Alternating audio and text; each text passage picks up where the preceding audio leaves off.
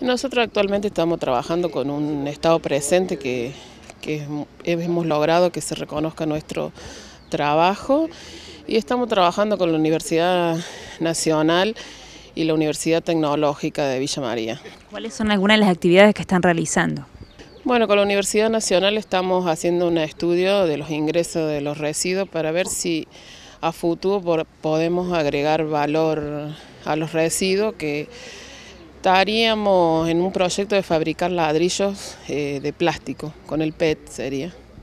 Y con la Universidad Tecnológica, eh, a través de residuos tecnológicos han logrado eh, formar varias computadoras y donárselas a las cooperativas y a su vez esta misma universidad los capacita para hacer notas a los municipios, eh, hacer proyectos y todas esas cosas con la computadora que ellos nos han donado.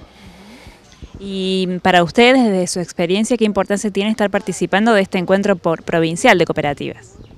Y la importancia que tiene que se intercambian ideas, eh, opiniones, proyectos, leyes y más de todo el apoyo social que tenemos entre todas, porque en sí somos recuperadores urbanos y la mayoría de nosotros necesita mucha inclusión, entonces es importante.